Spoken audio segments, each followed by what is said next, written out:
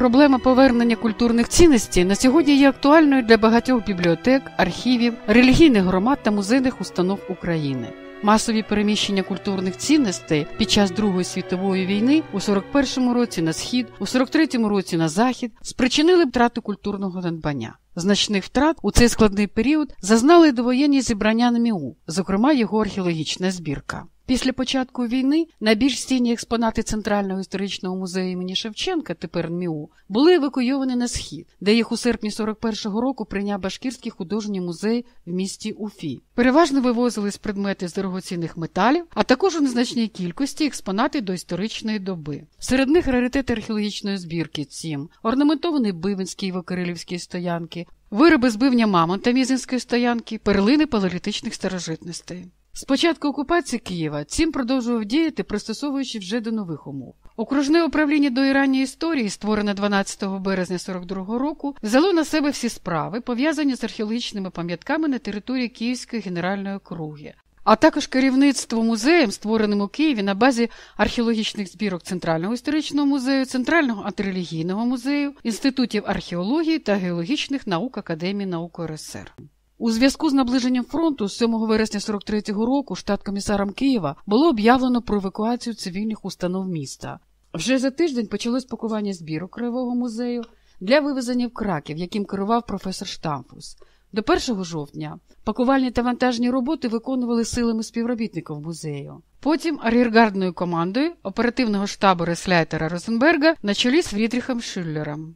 Детальна інформація про матеріали, які були підготовлені до вивезу з краєвого музею через оперативний штаб Ришляйтера Розенберга до Кракова, надає три документи з Центрального державного архіву вищих органів влади і управління України. Перший документ це перелік археологічних збірок краєвого музею та розкопок доктора Хюля біля Дніпропетровська. Другий документ перелік ілюстративних матеріалів названого музею. Третій документ перелік єгипетських старожитностей того ж музею. З 27 вересня до 17 жовтня 43-го року з Краєвого інституту до іранньої історії у Краків було вивезено 6 вагонів археологічних збірок та інших матеріалів. Всього з Києва у Краків було вивезено 8 залізничних вагонів зі збірками Краєвого музею до ранньої історії, архітектурно-історичного музею, нині Національний заповідник Софія Київська, та музею українського мистецтва, нині Національний художній музей України. До Кракова співробітників Краєвого інституту до ранньої історії виїхали Петро Куріний, Борис Безвенгліцький з сім'ями та Валерія Козловська. Вивезені до Кракова музейні збірки попередньо мали розміщуватись в Інституті німецької діяльності на Сході. Проте вони були розміщені у приміщенні головного управління музеїв при головному відділі науки і навчання Генеральної губернії та укритій галереї Домініканського монастиря у Кракові. 18 жовтня 43-го року була створена краківська філія оперативного штабу на чолі з Вернером Хюлле і прикріплена до головної робочої групи України, яка перебувала на той час у Моршині. Команда краківської філії складалась з п'яти німецьких і трьох українських співробітників. Майже через два місяці Борис Безвенглінський і Валерія Козловська, які не мали дозволу на перебування у Генеральній губернії, були змушені залишити її межі. Вони виїхали з Кракова 20 грудня 43-го року у місто Ратібор, який з 1939 року був у складі Райху. У Кракові з українських співробітників залишився лише Петро Куріний як Фольсдойче. Співробітники краківської філії приймали вантажі з культурними цінностями з України, дбали про їхнє розміщення та збереження, провадили облік і готували збірки до подальшого переміщення в Райх.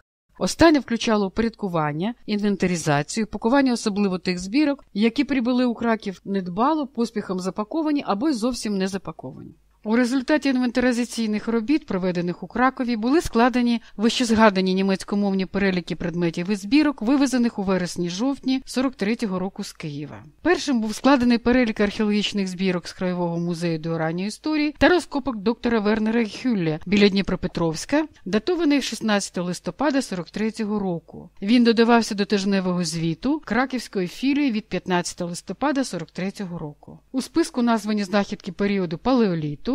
Неоліту, трипільської культури, періоду бронзи, скіфії, з гороскопок грецьких міст Північного Причорномор'я, в тому числі Ольвії, готів, преслов'янських культур, вікінгів та інше, а також знахідки з розкопок Дніпрогесівської експедиції. Крім того, були вивезені черепи з різних місць розкопок, два незапаковані скіфські казани, нумізматика, архів, фотоархів та бібліотека Краєвого інституту. Разом 1958 ящиків і 570 пакунків. Під час дослідження автори проаналізували і прокоментували 86 археологічних колекцій, згаданих у переліку. Для більшості колекцій встановлено місце, час знахідки, автор розкопок, визначено установу, де колекція перебувала до війни. Також було з'ясовано факт наявності кожної з колекцій у фондах Національного музею історії України на сучасний момент. Надано характеристику складу колекції, підрахована кількість музейних предметів з кожної колекції, які є в наявності. Для матеріалів, які у списку подаються сумарно, зроблено спробу визначити, які саме пам'ятки маються на увазі на основі даних з актів про збитки, актів про повернення до музею у 48-му році та картотеки Мюнхенського центрального збірного пункту.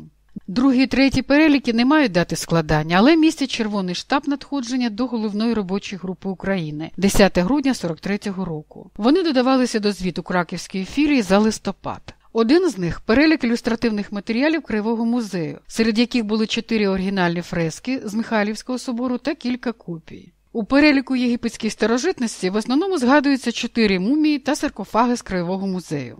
Після проведення інвентаризаційних робіт та підготовки до подальшого транспортування всі українські збірки були вивезені у другій половині лютого 44-го року в Баварію замок Хьохштет на Дунаї. З українських співробітників Краєвого інституту до ранньої історії в Хьохштетському замку працювали Борис Безвенглінський, Валерія Козловська, Неоніла Кордиш з чоловіком, Петро Куріний. З німецьких співробітників, крім вище названого професора Рудольфа Штамфуса, тут працювали вже відомий доктор Вернер Хюлле, який очолив Інститут нордичної германської ранньої історії східного регіону. Пізніше до них приєднався Пауль Грім. 22 квітня 45-го року Хьохште зайняли американці. Збірки майже до кінця року залишались у замку, а впродовж 4 листопада 20 грудня 45-го року вони були перевезені у Мюнхенський центральний збірний пункт, створений американцями для реституції культурних цінностей, вивезених нацистами з окупованих країн.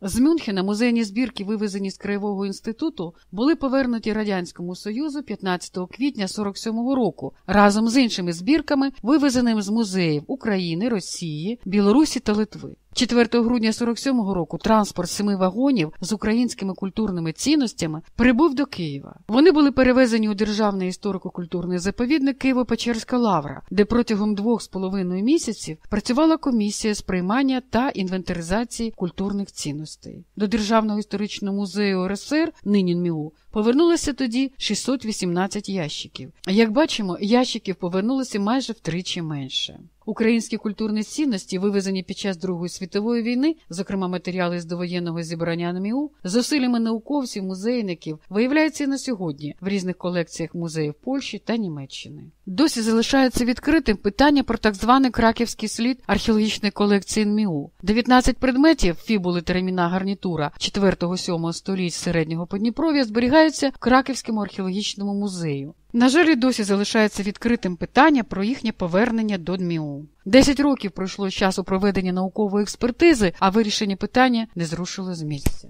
На депозитному зберіганні у Мюнхенському державному археологічному музеї знаходяться 11 артефактів з кириличними шифрами, які також походять з довоєнної збірки НМІУ. Це 9 глиняних пряслиць, одна кам'яна шліфована сокирка і одне фарбоване яйце. Пряслиця походять з колекції Кирилівські землянки, яка була досліджена Вікентієм Хвойкою. В фондах МІУ зберігаються аналогічні пряслиця з такими ж шифрами. Інші два предмети також з великою вірогідністю можуть бути віднесені до збірки МІУ.